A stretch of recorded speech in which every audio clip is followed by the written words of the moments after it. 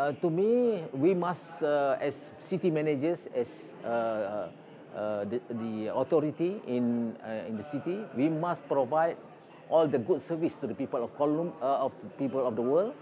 Uh, we must provide all the services to all the people in the city, whether it's uh, any race or, or immigrant. We have to provide in terms of housing, in terms of public uh, facilities, in terms of urban services. We have to give them all the services so that they can enjoy uh, living in the city. And uh, we want to be an open city whereby uh, we can share uh, all these uh, the facilities uh, provided by the authority, especially from the, uh, uh, the city managers.